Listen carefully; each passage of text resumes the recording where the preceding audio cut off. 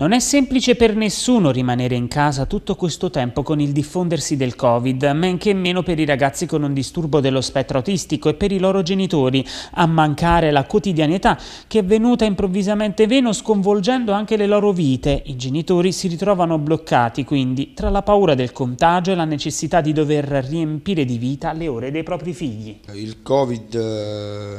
per i nostri figli è stato devastante sotto tutti gli aspetti, eh, sia terapeutico sia inclusivo, la mancanza della scuola, eh, un, diciamo che eh, tutto quello che era il quotidiano del, del, ragazzo è venuto a mancare, quindi questi ragazzi si ritrovano eh,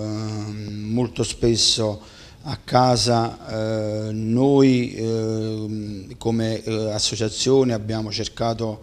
di, eh, di, fare in modo che comunque le terapie continuassero facendo fare, facendo fare, i tamponi agli operatori, quindi lavorando in sicurezza con mascherine, eh, guanti e quant'altro, eh, proprio in virtù di non far mancare le terapie ai nostri figli, perché sappiamo bene e per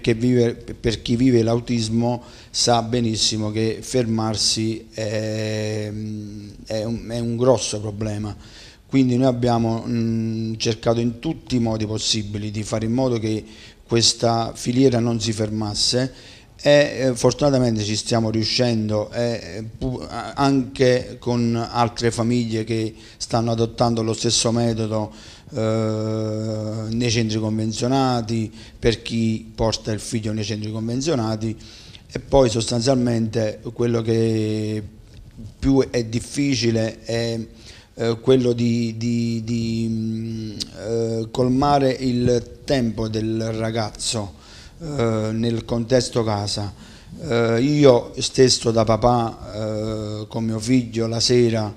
appena mi è possibile eh, lo porto a fare un giro con la macchina, cerco in tutti i modi di fargli, fargli vivere un poco di normalità, perché immaginiamoci che questi ragazzi vivono tutta la giornata in casa senza vedere un amico, senza vedere eh, un, un, professore o eh, altre, altri, altre, altre persone che solitamente loro erano abituati a vedere.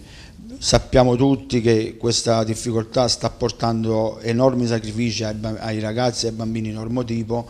Vi lascio immaginare un, un ragazzo con autismo, in questo caso quello che più noi da vicino viviamo,